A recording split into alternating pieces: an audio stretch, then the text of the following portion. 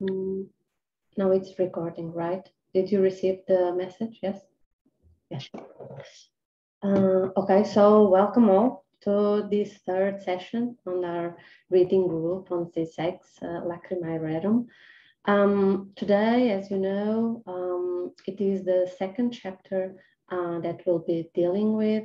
It's the chapter, a very simple and shorter chapter on Hitchcock films um, vertigo, psycho, and so on, as you um, were able to to read. I think um, I sent you yesterday. I sent you an English translation of the of the paper um, of this small chapter. Um, and um, today, Barbara Bergamaschi, she volunteered kind of to uh, present something on this um, dialogue, on this conversation between Zizek and Hitchcock. And I think she has a PowerPoint to present us. So if you uh, are ready to share with us your thoughts, thank you. Hi guys, good afternoon. I will be the first. I was not expecting that, but that's okay. No problem. No problem. Um, just a second, I will share my, my screen. Um, keynote presentation. Okay. Okay, yes, you can see the, the PowerPoint, right? Okay. Okay, so um, Hello, everyone. My name is Barbara Bergamaschi Novaes. I'm a researcher and filmmaker. I'm also a PhD in literature and compared literature from the University of the Catholic University of Rio. I did um, research, my thesis on an experimental filmmaker called uh, Peter Tscherkassky. He's also really interested in hauntology and then this phantasmagorical spectrality of the image.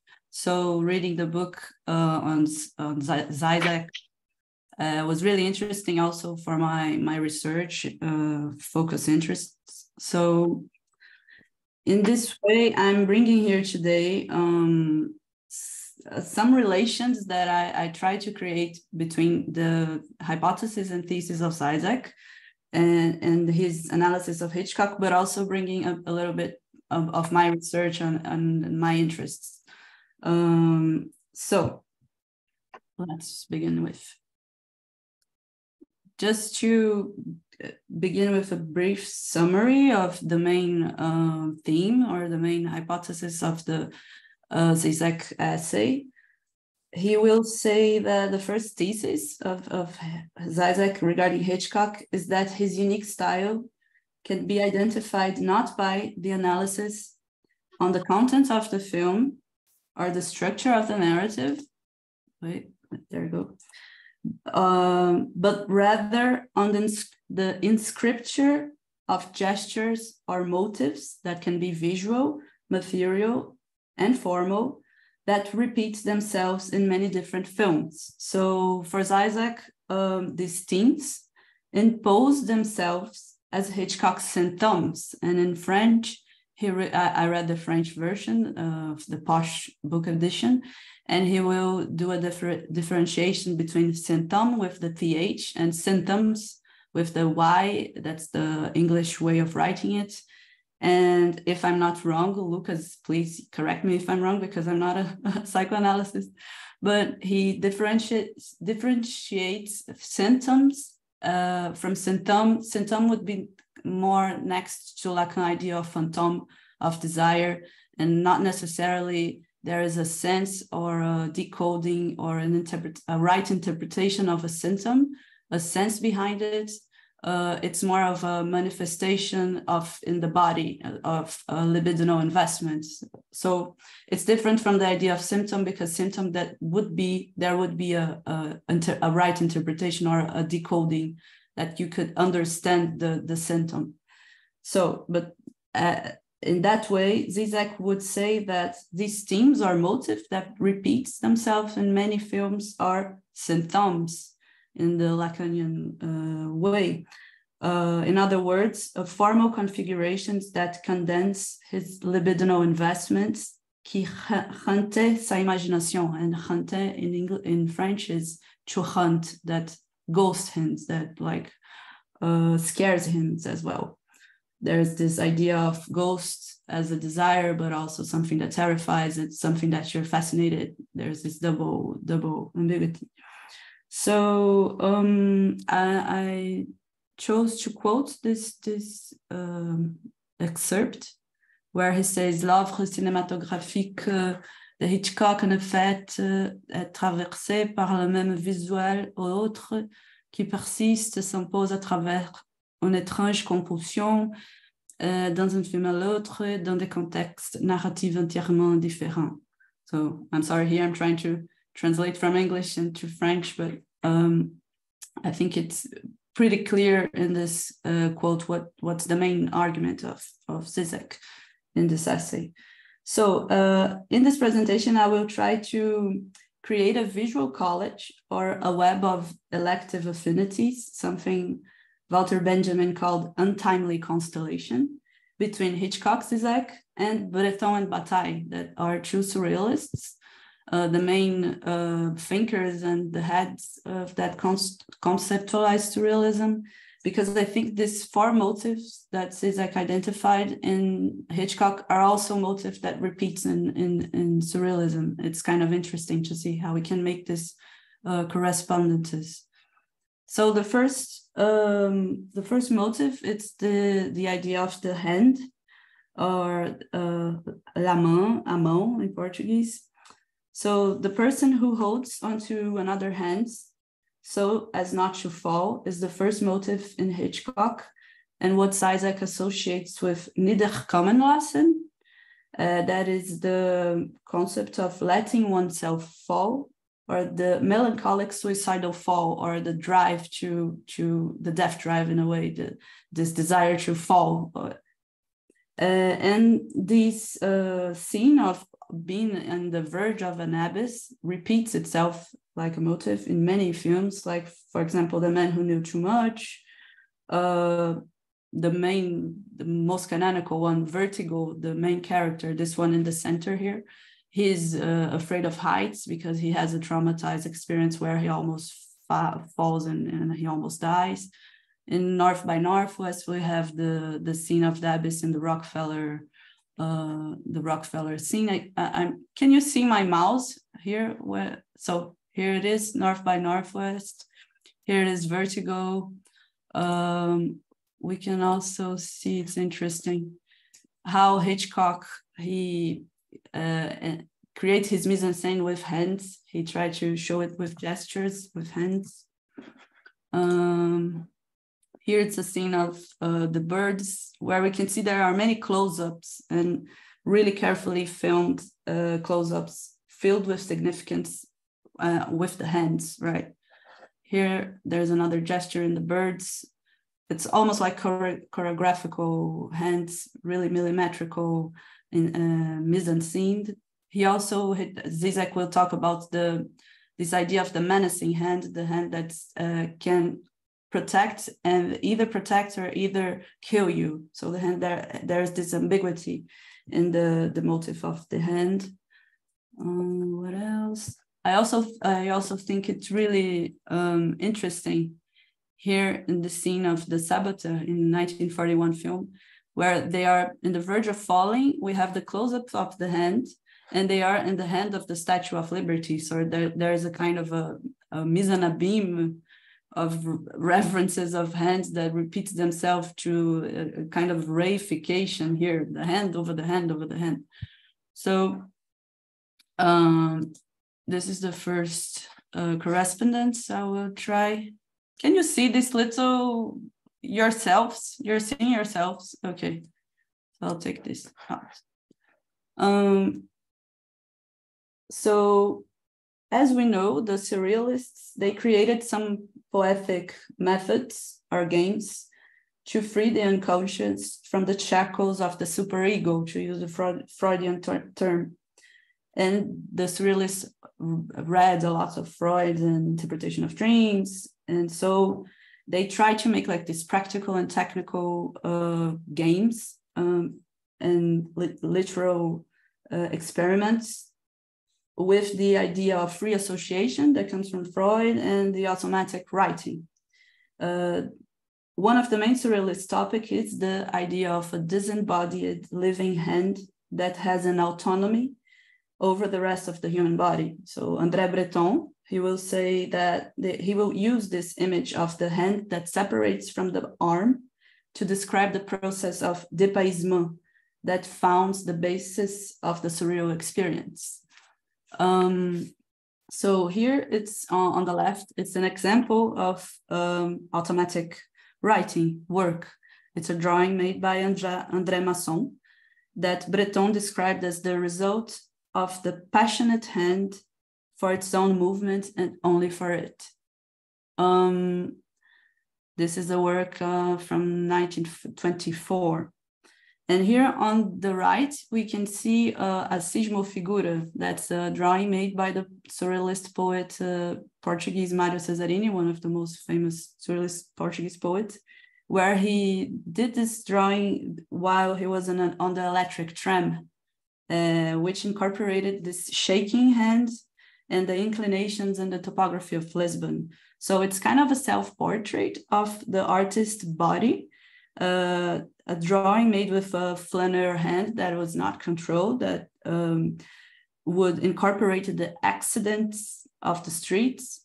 And it's kind of a marriage of the hand and the mechanical movement of the urban transport. So it's the union of the expression of the machine and the man at the same time. So we can also relate uh, this idea of mixing human and machine with the idea of an unheimlich, uh, that Freud will get it from the short story of Hoffmann's Sandman that tells the story of a man who falls in love for a woman that uh, is she's actually a puppet and he can't realize she's not human. So the unheimlich, this kind of uneasy feeling, disturbing feeling, it's it's when you can't realize if what you're seeing it's organic or not organic, or it's human or not non-human, it's alive or dead at the same time.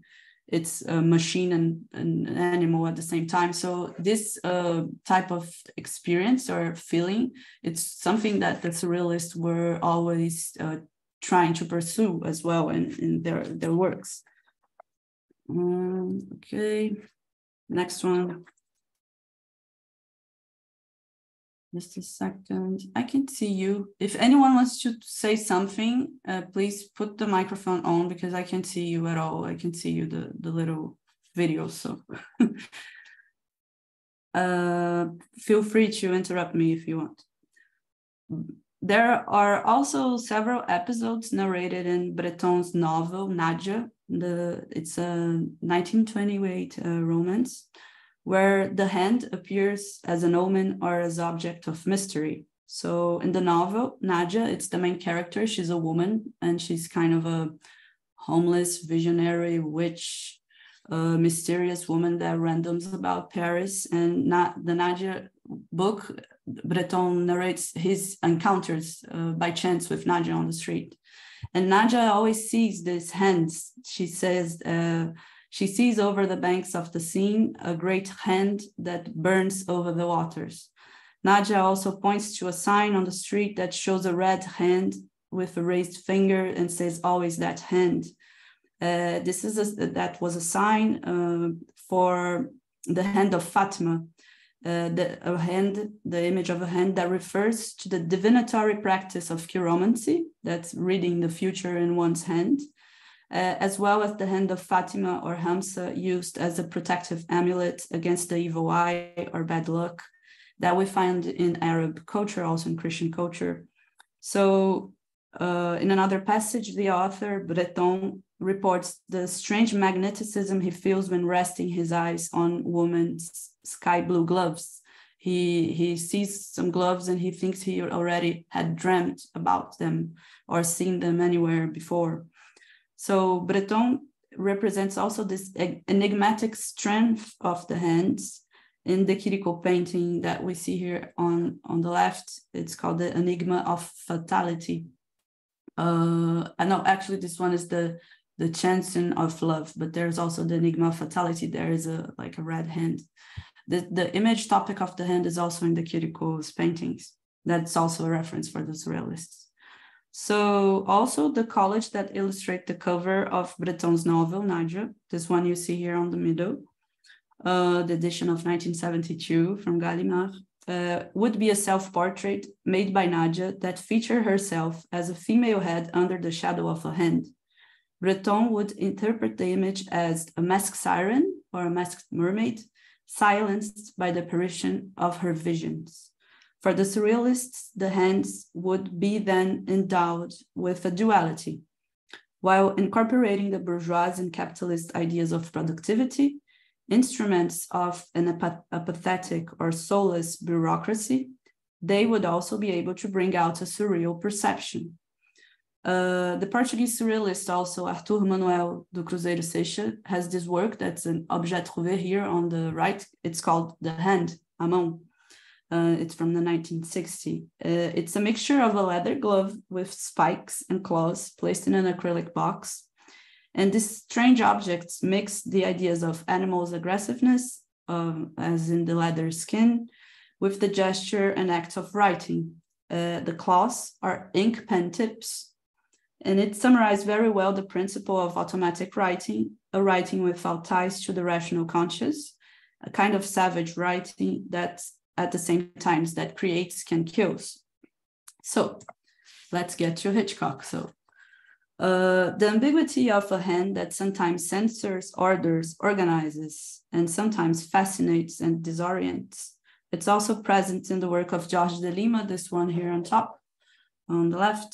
Uh, Jorge de Lima, it's a Brazilian poet, also had a strong connection with the Surrealists, the French Surrealism and was the one first Brazilian to work with photo collage. That's also a technique that the surrealists uh, created or tried, uh, experimented uh, in the 1940. And this photo collage of De Lima also brings the figure of the hand with the, it's the hand of Fatima with this um, drawings, uh, Arabic drawings, or it also remembers the idea of chiromancy, and it's called an invention of the police.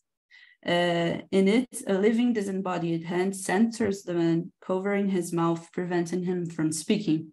So the word hand, finally, carries the same ambiguity um, as the word mother in, in Portuguese. Both em- embody a female figure that is both threatening and protective. Mother and uh, in, in Portuguese, sorry, mão e mãe, mão e mãe. It's really homophonous, it's similar. In French, maman and ma. Uh, Hitchcock mother and Psycho finally is dead, but she also brings death in the name of her son's protection. Also, there's another homophony here in mère and mort in French, mo- uh, death and mother. Mother does not authorize, censors, castrates, literally kills his sons her son's desire and libidinal investment. So here uh, we have the scene where we see the loving mother. um, okay, next. Uh, oh no, sorry, still have one remark here. The second motive, it's the idea of the visionary woman uh, that Zizek will say that it's the woman who knows, knows too much. Uh, this feminine figure. Uh, it repeats itself as well in Hitchcock, in many Hitchcock movies. Zizek will say it is inspired by uh, Hitchcock's uh, daughter. And this is the case, for example, of Doris Day and The Man Who Knew Too Much, that she suspects this French spy since, since the beginning. Joan Fontaine and Rebecca knows about her husband's past and hides it away. Um, Crane's sister and Psycho, she insists on looking for the detective because she, she feels something went wrong. Kim Novak on Vertigo, uh, she has strange visions, strange dreams. So they are really similar a little bit with Nadja, the woman in Breton's novel, because she's a woman that has visions. She has an intuition. She sees things that others can't. So this idea of a femme fatale, or of a femme damnée, femme uh, condemned, such as Salome, were surrealist muses. their, their intuition, sensibility, and sometimes even cruelty would be the incarnation of the ethos of surrealism, where passion. Uh, oh. Just uh, Marisa is with COVID, so she can't speak because she is without voice. But she mm-hmm. wrote here. Uh, do you want me to write uh, to, to tell you the question? And so yes, yes, you can. She, she, she, said, uh, or can you can you check? Do you want me to? Wait, wait. Let me see if I can. She said, aren't there also possibility uh, possible relationships with the Arthurian hand that brandishes Excalibur at the lake, and mm-hmm. also mm-hmm. Macbeth's bloody hands later on the play substituted by Lady Macbeth's blood, bloody little hands. All mm-hmm. of them can be read as disembodied objects that incarnate a libidinal investment. Mm-hmm, mm-hmm.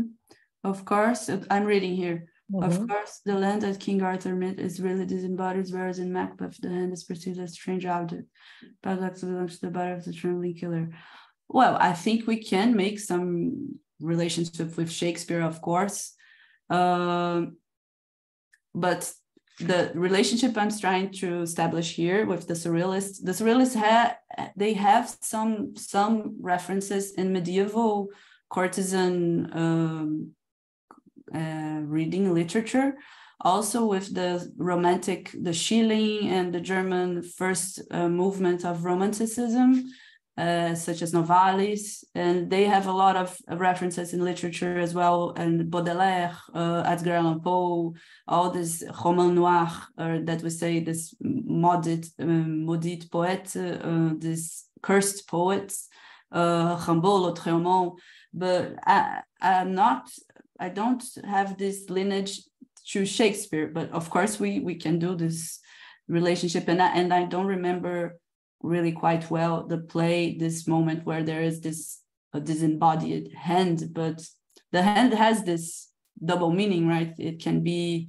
punishable it can punish you it can kill you and it can also protect you. And also i think that's it's what hitchcock it's it's perceiving in and zizek is perceiving in hitchcock but we can talk more about that uh, later on uh, thank you for the comment and but here I was talking about the woman and the femme damnée and how this woman that knows too much is presented, really repeats itself in Hitchcock's and Tom, and it's also in a way in the topic of the surrealists. Uh, just to continue here, third motive, the Gothic house. Um, just a second, let me minimize this thing here. Okay. Go back, back, back, back. Okay, the Gothic house. So as I already uh, advanced a little bit, the surrealists had the, these references in the horror genre of literature. So the house with a mystery that contained in its interior a house full of shadows, silhouettes, a ghostly creature that inhabits the house. Uh, this is recurrent in like Edgar Allan Poe, um, and it's a motif that repeats itself uh, in Hitchcock, according to Zizek, there's also this idea that the house that looks back at you, the objects that has a gaze that looks back uh, to to the the viewer and the spectator. So the house it's kind of alive, and it has a devilish, uh, a spiritual being in, in, in the house. Uh, and the house in Psycho is inspired in the American painting House by the Railroad by Edward Hopper, and it's a Vic- Victorian style house uh, a typical of the Gothic English 19th century literature. And it also became a stereotype of the haunted house. Also, I read that uh, many people in London don't like to, the, this type of house are never rented because they are so uh, in our unconscious of this, this stereotype of the haunted house and nobody wants to live in them anymore. And it's also reference for the Addams Family series. It's the same house uh, in Hitchcock. The house windows will operate as eyes, as I, as I told already. The house incorporates its devilish spirits. And this image of the house remembered me. I, I, I thought it was really similar to the Magritte's painting, this one here in the middle, that it's called Empire of Light, uh, which he explored the surrealist idea of compossibles. That means the union of opposites. So in this painting, at the same time, it's day and night. So which causes a strange temporal confusion, a feeling of estrangement. Again, this unheimlich feeling that this is not natural, this can't be, it's uh, inhuman, it's not natural to be day and light at the same time. And I, I, I thought there was some resemblance with Rear Window uh, scene here where you can it's kind of a dusk uh, scene of the sunset but it's, it's strange it's at the same time it's orange and blue it's night and day. So there is this uncanny uh, feeling towards houses right? Uh, now the fourth motive the what Zizek will argument as the concept of the constitution of the regard that he different, differentiate regard from uh, uh, the look and the eye. Uh, this would have a relation with an external phantasmatic look that is an impossible subjectivity or a heretical theology, to use his words, what he will call pre ontological hell. Uh, there is a, that, that means there is no uh, ontological being here. We, we are not looking at any a character perspective. There's no subjectivity. It's like a God eyes or a devilish eyes, something that it's outside uh, human perspective. So uh, it's an eye without a body or a spectator. So we can see these uh, scenes where the camera is up above here uh, in the bird scenes where there is an explosion. And also the second scene that is the scene of the moment the de- detective is killed in Psycho. And it's funny because Lucas has sent the TIFF uh, talk, the Q&A that Zizek participates, and I had selected this image before seeing the Zizek talk, and he he talks about this exactly these two images, the birds and the Psycho, up up up in the sky point of view um, camera. So it's interesting I, I imagine that he was really talking about these two things when he's, he, he says about this pre-ontological hell.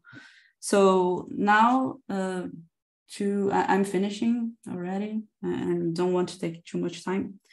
Uh, so I instantly remembered when I read this idea of pre-ontological hell, the book uh, of Georges Bataille that's called The History of the Story of the Eye. Um, and I, I think we can establish uh, some relationships with the film Psycho.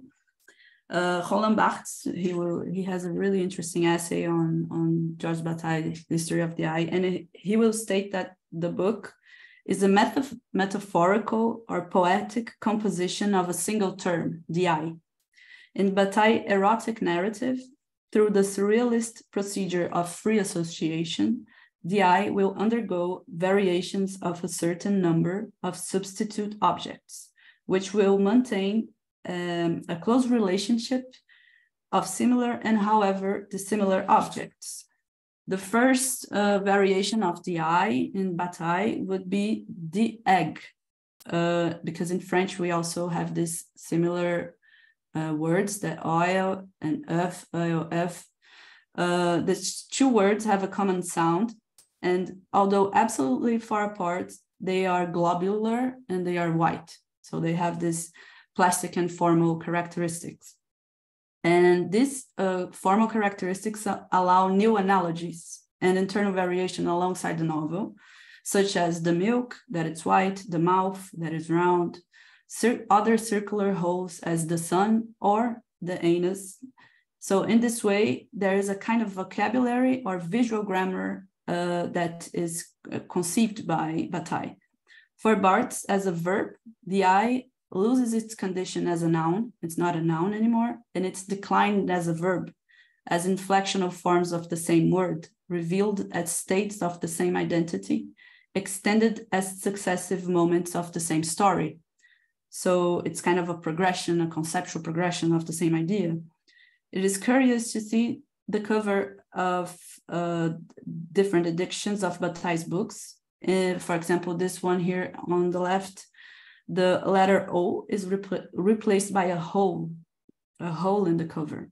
So for Bataille, the eye is configured as an elective zone of the body an organ that determines the power of both seduction and horror.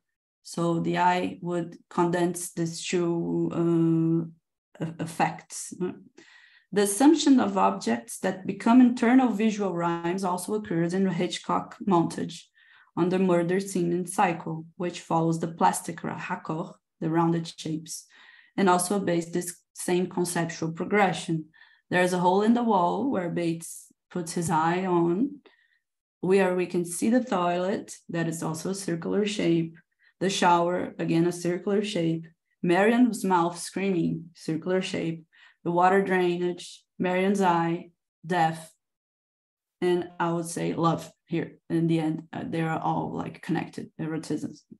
In Hitchcock as Bataille, he associated eros and thanatos, eroticism and death. Hitchcock takes the extreme seduction that touches the nerve of phobia and horror, the phobia of the disembodied eye or the disembodied hand, but the, the body that it's um, uh, it's not in his organic state, right? There is the devil regard of pure emptiness, staring death at face. The drain is equivalent to the emptiness, the death, or in Bataillean terms, the lost continuity, or in terms of Zizek, pre-ontological hell. We can also remember the word trauma derivates from the French for, for the word uh, who, who um, and also Lucas, if you want to explain it well, I know that true, it's like a neologism with traumatism that goes for the word trauma. Um, but well, it's interesting to see this idea of hole and trauma together. Uh, the drain is a hole for primordial nothingness, whole and whole there is also this homophony in the English words, whole as a whole and whole. uh, Georges Bataille formulates uh, his philosophy under three vertices, vertices that makes up his central argument, that is eroticism, death, and the mastery of forms. For Bataille, death approaches the being to the experience of the infinite, which belongs in essence to the sphere of the sacred, as in the idea of oceanic uh, experience that is in Freud. In religious experience, you have this uh, idea of dissoluting your ego and with God. So, Bataille do, does this uh, relationship between sacrifice, death, and love. All our sacred realms are in the same kind of experience. For Bataille, death is desired in its profound consequences but I also state that love, and in particular the sexual act, are instances in which this subject can briefly experience a sense of continuity of the being. For Bataille, during these relational experiences, the subject forgets his primordial split with the rest of being and feels again this kind of continuity. Hitchcock used to say, film your murders as love scenes and your love scenes as murders is kind of interesting, right? Film, I will say again, film your murders as love scenes and your love scenes as murders. So just to conclude, uh, the shredded papers that are flushed down the toilet by Marion in psychosis uh, foresees the future, the murder. The woman body is an equivalent to the shredded papers. She, her body is what's left, the rest, the garbage or the litter or what Bataille calls the excess, o assessment. The evidence of the capital sin, thou shalt not steal and thou shalt not kill, uh, the body is this excess, what is left of the libidinal economy, the rest of the discharge or the flush of desire.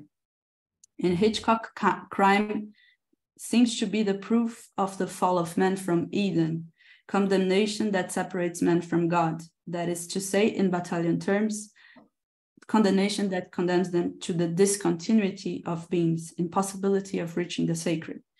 It's the tendency to repeat Bates' murders, his symbiosis with his mother, that at the same time it's death, and Hitchcock's repetitions of symptoms could be seen as an attempt of fusion with a lost continuity that Bataille is referring to. That's a question I'm, I'm just uh, rhetorically posing. I finish with a provocative question. was Hitchcock maybe looking for God when regarding death in the eye, or was Hitchcock the last one of the romantics? So that's it, guys. um, okay, thank you. Um, you have the references. Here, yeah, the references. Okay, thank you, Barbara. It was great. Um, I would just correct your translation um, to gaze instead of uh, the regard. Regard. I. Yes. You said it's regard, but normally we translate it as the gaze. Um, I would just make a connection between these two last um, uh, motives uh, because you mentioned this pre-ontological place which the, um, the camera, the God's eye camera tries to mimic. Um, and and in the text of Zizek, he, he connects with these um, other images of the wall, of the emptiness of the, of the eye, of the bathtub uh, drain, for example. Uh, and I think it's interesting to make this, um, this par parallel because um, this pre-ontological place actually is something that we cannot understand what it is because as you said, it is not a subjective point of view. Um, we don't know which character, uh, um, from which character is that perspective. So we don't know, it's a, um, a mystery. Um, and at the same time, when we apply this idea to uh, what we are seeing in vertigo, for example, the connection between the eye and the bathtub drain, it's also the idea of void of non-existence, of something that it's meaningless. Um, and this is connected with this, what Zizek says about um, the place of the, the role of the woman as a, a subject of a non-entity, of a, something that has no content, uh, but is filled in with the male fantasies. And I don't know, maybe this is just an interpretation that is too much, uh, but it's what Zizek says. Uh, I think he, he really he quotes um, Hitchcock because Hitchcock says uh, the falling body, when the body falls or when the, um, the, the nun appears in the last scene of Vertigo, we don't know where they come from. possibly they come from this pre-ontological place and they have this ex machina uh, performative role, but it's something that escapes um, knowledge. And the, the connection with the, the nature of the woman, which is, as you know, um, uh, a strong presence in the films of, uh, of Hitchcock, uh, the role, the female roles, um, not for their importance for the, um, the narrative, but as corpse, as dead bodies. Uh, and I don't know if there is a connection between what we don't know, this pre-ontological place, and the void and emptiness that is um, the, the essence or the nature of female characters. I don't know. Um, but I like that kind of, uh, of connection. Yeah, I think the surrealists are also a little bit uh, they have this essentialist idea of a woman that is intuitive and very sensitive and yeah. it's also a male perspective on women of course but uh, they try to use uh, the power of women to con- context and to deconstruct the bourgeois moral family. So they see women as something really disruptive for it's like a, a revolutionary revolutionary force. So but of course there is this male gaze and i think hitchcock the, uh, laura mulvey writes about this uh, masculine and kind of how do we say misogynist? Uh, misogynist. yeah misogynist way he, he puts women in, in scene. Yes yes i agree. Yeah, but I also read that uh, maybe this misogynist and narcissist perspective of Hitchcock could possibly be a deconstruction of the patriarchal perspective. But I think, I don't know, maybe this is just absurd. I don't know what you think. Um, if you want to join the discussion. Uh, just uh, going with what you just said uh, about the, the women, isn't it? Uh, connecting with the last chapter and a question that Marisa asked uh, in this Lacanian diagram, where you have the subject that is something that you don't reach in the psychoanalytical theory and in clinic, and also the unconscious. So it is, it is this result of a division between something that is pre-ontological, that's gonna meet language, and then you're gonna not be able to reach two stuff. These two stuff, it would be the subject not buried by language, so it would be the subject as a pre-ontological thing, and the unconscious. Because you can never actually reach the unconscious, you can reach the, the formal stuff that the unconscious sends to us. So you have the dreams and the, and the jokes and the symptoms, and then Lacan is going to play with the symptoms and make this structure with the phantom. So uh, when we go with Deleuze and Guattari and the women being a minority as the minor and the minor that is gonna make you make you able to speak a different language, a foreign language in the language that we came from. Uh, I don't know, listening to you, to you guys, to you debating, uh, it makes me think like uh, we cannot reach the unconscious, but Lacan in in, uh, in one of his last seminars he's going to say that the unconscious is the woman. So there's no woman uh, as there is the man, as this being, as this big thing that understands everything as the truth, as, as something that is always able to be approached and understood. But there's the woman with the subversive potentialities of the woman. So Lacan goes with the post uh, with the post structuralists in a way, and we can read Lacan with Deleuze and Guattari so, and, and I put this, this little quote from Lacan that when he's going to say that psychoanalysis should be understood as gay science. And he says that it's gay science because you don't have to always glue and understand everything with a lot of meaning.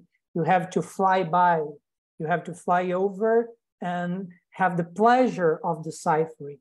And that's pretty much uh, a Hitchcockian way of dealing with the suspense.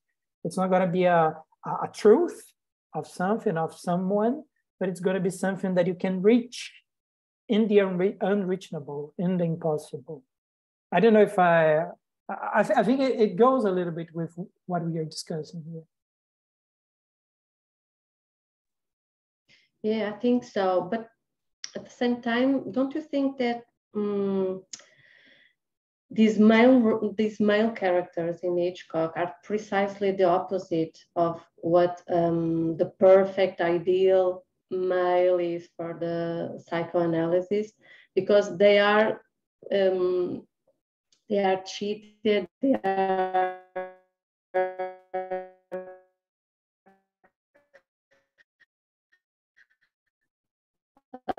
uh, they and this character of Scotty is from the beginning uh, misguided. So I don't know if this is not just a perversion of that kind of dynamics between male and female, because at the end, um, I don't know, the, these characters are not in possession of any um, truth or any uh, uh, co direct contact with reality, for example. Um, so it's the opposite, I don't know. And this, this reminds me of what Zizek says right in the first lines of the text, uh, just to bring you specific to this um, to these first lines. He says that everything in a Hitchcock film has to have a meaning. But at the same time, at the end, we realize that um, there are some meaningless uh, elements in, in these films. For example, the death of, uh, of a sister is a meaningless death. So I'm just um, uh, don't know what you think, but um, if everything must mean something, uh, but except a woman's death, um, how, how to deal with this kind of um, interpretation, because this is just an interpretation of what is happening in the film. And it has something that to do to do with what Barbara mentioned in her presentation, which is the symptom, the jouissance because nothing has a specific meaning means that uh, it is just a playful uh, it is a i don't know uh, do you know what i mean lucas uh, but i, I kind of disagree that everything has a meaning there no no I, for instance, if you go to the end of Psycho, we pretty much understand that he, he wants meaning it all because there's the doctor scene. And the doctor scene that the critics and people usually don't like. It is Hitchcock saying there's meaning there. This guy was mm-hmm. doing this because of that and that. But I don't know, it's everything so. But yeah, we have that explanation on Norman's mind and why he acts as he acts and so on. But at the same time, it's not a cause effect uh, relation. It's just an interpretation of um, the reasons uh, behind uh, his, um, his own uh, decision or his acts. Uh, I don't know if um, Hitchcock is really trying to give us the keys to, uh, at the end of the film, have all the answer. Why is Marion running with the money? Because she didn't contact Sam and they're talking about money in the first scene. No, we don't have money to get married or something. But she gets a bunch of money and she didn't go, oh, hey, let's let's run to Mexico together. She simply runs. And why? What's the meaning of that? I don't know. but but Zizek said that uh, Marion in, in, the middle of the film, it's kind of she regrets and she d- does the shower to uh, cleanse herself from her sin and she would decided to give back the money and then she's killed out of nothing. Like god doesn't forbid her. She is there is not no morality here that it, it doesn't matter if she decides she is regrets she will die anyway. Like so in this yeah. way it's Zana saying there is no like morality. He it, it seems like he hitchcock thinks there is no god like that, that's the meaning everything is random. Like the mm. birds the birds is a film that i saw when i was a kid. I think i was uh, a teenager. And it really dis- disturbed me because there is no explanation why the birds are killing everybody. They just started killing everyone. So and you say really you know it's really uneasy. It can happen. Maybe one day birds will start killing us. So it's I think that this is the uncanny in in Hitchcock, right? There is no meaning. Like yeah, a- I, I agree with you. It's kind of scary why we don't even know um, what what are the reasons for the birds to attack people because it's not a virus, it's not a, a revenge. We never know. It just happens. Um, we can we can see it as a metaphorical um, uh, image of what is happening between the humans, of course, but it really is not an, a good explanation. It's just random. and that is upsetting. I agree with you. Yeah, yeah it, it, it, comes to mind, it, it really much comes to mind uh, the leftovers, isn't it? kind because of, the, yeah. you, you don't understand why, and there's no actually actual reason for that but there's one chapter in season T that they call season two that they call Nora Durst, and they it's it's like researchers from a famous university, and there's they're talking to her. Uh, we we discovered that maybe since your whole family vanished and you are the only one that is still here, maybe you are a lens, and lens is not any any word; it's a lens, so something that you can see the word with, yeah. and a lens means that she could be the i don't know uh, connection between the earth and a devil. But that's the university calling her science science is calling her. So i don't know there's no meaning but we're building up meaning and we're trying like to... a superior force or something, but really uh, unreachable. Uh, but that, that's exactly what happens in leftovers because they, they can try to look for reasons and explanations, but at the end, they, they just have to deal with uh, what happened and do not look back, but look forward. Um, yeah. And, and also, uh, sorry, I was thinking that North by Northwest and also International Intrigue the two stories it's about complete randomness. Like the guy is mistaken by another guy he is mistaken for a spy and he's put like in a death spiral and he must fight for his life out of complete nowhere. So it's like a Kaf- kafkanian stories like randomness. You can be put in your life in at stake out of nothing for being in the wrong place in the wrong hour. So that's oh, really hitchcock mindset, you know. and also talking about masculinity and seeing that Marisa also wrote something about it here. Uh, it's very interesting that Gus Van Sant is going to make the remake.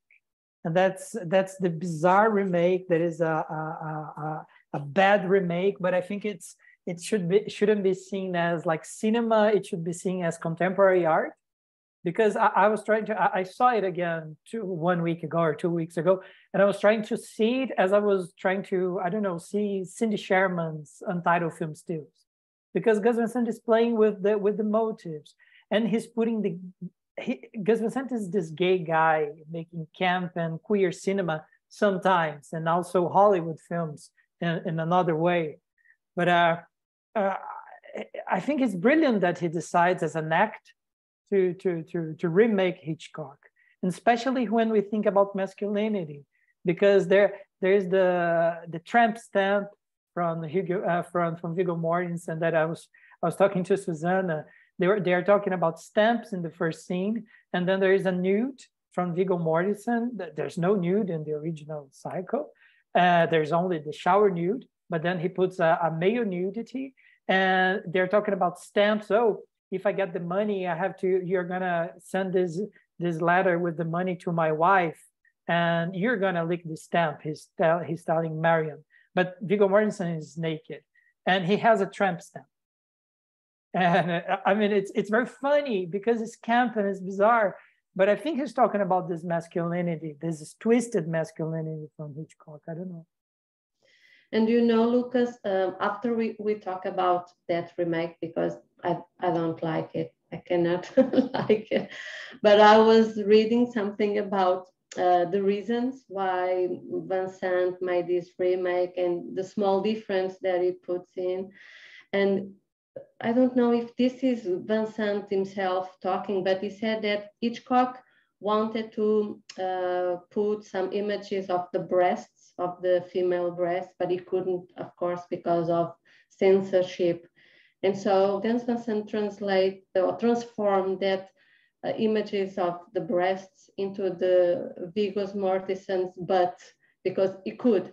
He could show us Viggo Mortensen's butt. I don't know. Maybe this is just a joke and has no um, uh, profound meaning or uh, I don't know, maybe just a joke. I, I also read that it was prohibited by the censorship to show to toilets.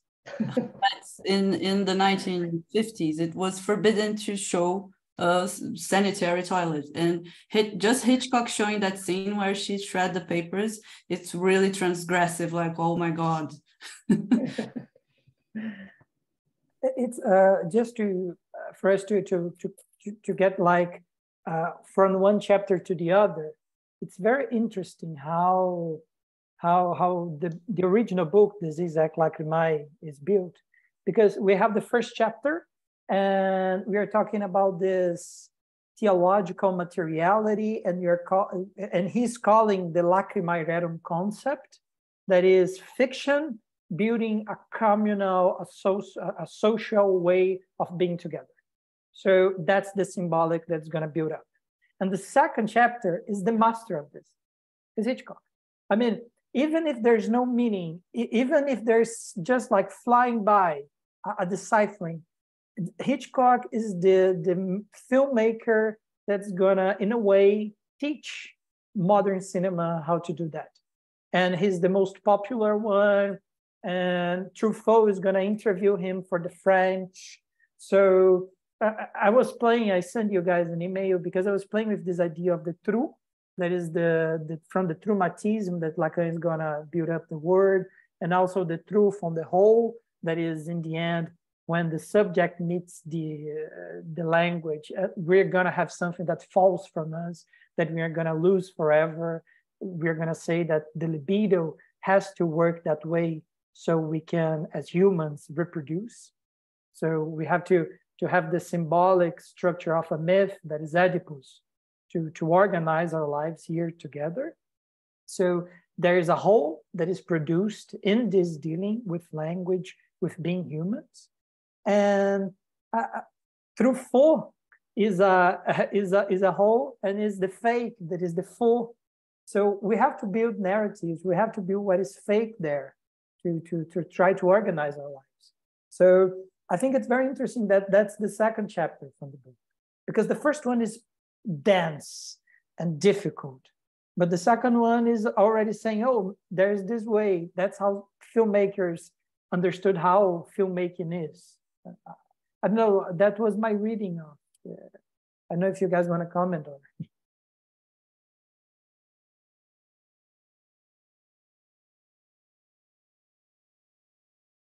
Uh, if anyone uh, would like to share something with us, just don't be shy. And look at the next uh, chapter will be on Tarkovsky and will be on the inner space. So I don't know what this is, what will happen, but I think it's a, a line of thought uh, here to be followed. And by the way, is anyone um, really willing, willing, willing to deal with uh, David Lynch, uh, with uh, Tarkovsky uh, in the next session.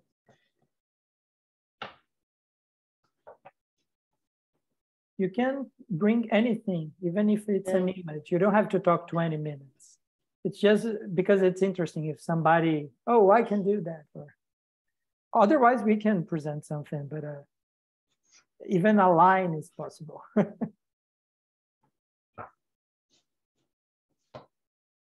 No. Um, Better go, go, go. I um I have something to add. I think first this is a really beautiful presentation. And there's I don't think that I can add something like of substance to it uh, or even ask a question, but I wanted to just take one kind of line of thought. Uh, I want to share some um, pictures here. Can I share my screen? Uh, well, wait a second, uh, Max. Um, I need to um, be made a core presenter or something. Yeah. You, you can go. So for um, Psycho, I've been I've been thinking about the swamp, which the swamp where the car got uh, disposed of, right? So and there's interesting swamp has a character of its own in a way. And it's interesting that the last shot of the film it, it ends with swamp with a car getting unearthed out of the swamp. So this is the last shot. The end with the car. It's an interesting shot. There's a chain directed right, at us or like at some angle uh, towards us and there's a close shot of the car the front of the car, right? And then I was thinking, like, what kind of a role does swamp adds to this? And also, there is an interesting gesture that when there is a long take when the um, car gets down and then it gets stuck, and then Norman waits for it and he is in doubt of, and he is anxious like he thinks if it's really gonna get down or drown completely or would it get stuck like with a part sticking out. And he makes this hand gesture. So i was thinking about the uh, the role of hand gestures as Hitchcock's style. So it's an interesting what does this gesture represent? I mean, psychologically, we understand what it means. So he's in doubt and he's expecting to, he has anxiety about what's going to happen to him as a murderer, basically, but he also like has this anxiety in the moment of thinking, is it really going to get down? Do I need to do something more like to push it down? Which is an interesting kind of uh, symbolic sequence between the scene of uh, murder and then uh, uh, this swamp consuming the body. And I was looking through some pictures here in just Google results for Psycho Swamp, and there's this beautiful uh, kind of image of somebody imagining what is actually happening, like from the perspective of the swamp. So uh, we were talking about this pre-ontological hells of perspectives that do not exist, do not represent any uh, being. So this is a perspective of the swamp. Just like somebody really put in work, like to to make this image, which is uh, amazing. I think there's some other like all kinds of stuff is happening there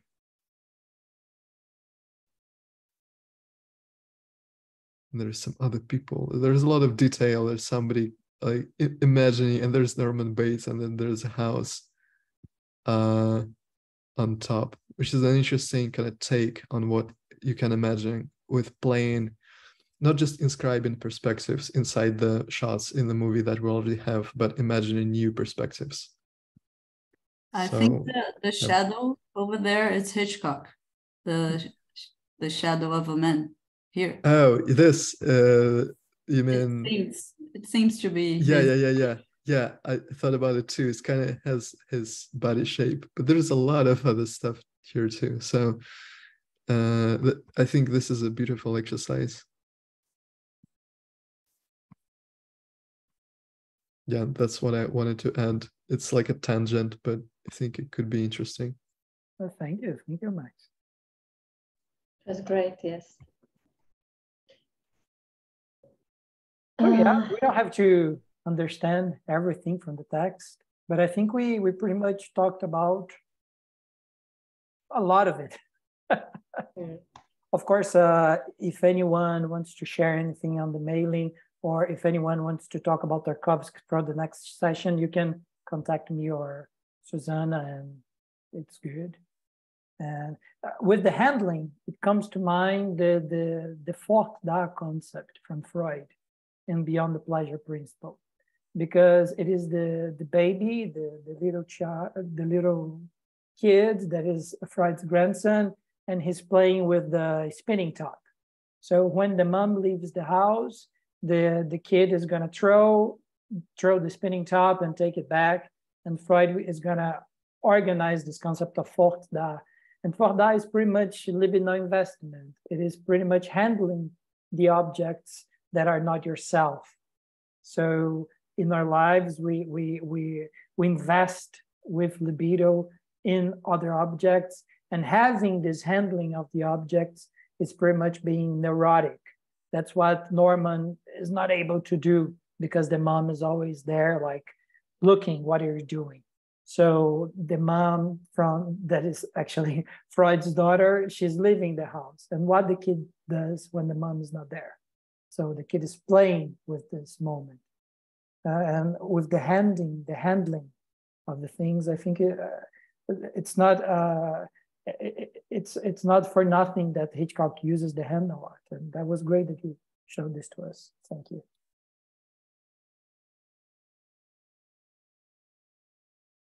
Yeah, yeah, I think we we can finish with it with yeah. this. Uh, but we, before, before yeah, we need to we need to decide um, in which day um, we will meet again. Uh, we will make a pause in August, okay? So everyone will get some time off to read and see a lot of movies. Um, and we come back again in September. And Lucas, we've thought about um, the 5th the 5th and the 7th, 7th of September, right? Mm -hmm. What do you guys prefer? The seven, the five or the Uh, seven? I, I would like to present something uh, about Tarkovsky, uh, Okay, uh, but um, not nothing very special, but, but I think it would, would be uh, interesting. Uh, and uh, once uh, the next session will be only in September, I think it, it will be, uh, uh, I will have some time to study and explore. okay, great. Yeah, thank you very much. Sophia. Yeah, I mean, Yeah. everything that uh, by reading the text or rewatching the film that touches you, like where your desire goes with the images there, you, it's it's very welcome here. Thank you. uh, Marisa said that she she likes the seventh. For me, is what do you guys prefer? So let's have the seventh. Good. I, I agree. If mm, if no one says anything, it's because I agree. So Seven, seven is okay for me, yeah. Okay. The so we have the seventh. okay. Good. Uh, Oh yeah, thank you very much. The seventh is fine. Thank everybody. Yeah, so so we have the seventh. Yeah. Uh, oh, uh, see, uh, Evie said that also wanted to to talk a little bit about nostalgia. Yeah, thank you very much. So we have you both, Sophia and Evie, to Okay. present in the beginning of the session, and then after it we we talk the first chapter was tough because it was 150 pages. Mm. The other chapters are smaller. So you we can close read if you guys say, oh, let's go to this line or that line or that paragraph, we can read together. So bring it here. It's it's very good. Yeah, but you are free to bring uh, free associations, other images from painting, like Barbara uh, did today. It would be great just to open up the the vision. it's great. Yeah. The importance here is to free associate and try to produce something something out of out of this meeting. Yeah. Yeah. Good. Okay, so um, I thank you all, um, and we'll see you again in September. Okay. Anything, please write. You got our email, so don't be shy. Okay. And we have the same link. It's always the same Zoom. It's always the same. Yes. See you next time. Bye bye. Ciao. Ciao. Bye bye. Thank you. Ciao. Ciao.